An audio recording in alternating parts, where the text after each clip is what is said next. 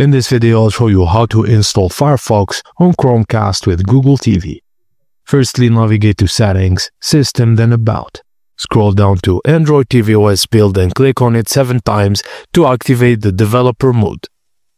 Go to the home screen and search for Downloader.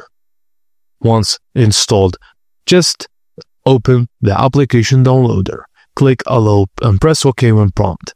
In the downloader, navigate to the URL field and enter bit.ly slash 4fs TV. Scroll down and find Firefox for Fire TV.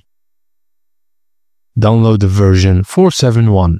If a pop-up appears saying installation is blocked, just go to your settings and enable unknown apps for downloader. After downloading, just press install on Firefox. When the download is complete, you'll have the Firefox application installed on your Chromecast.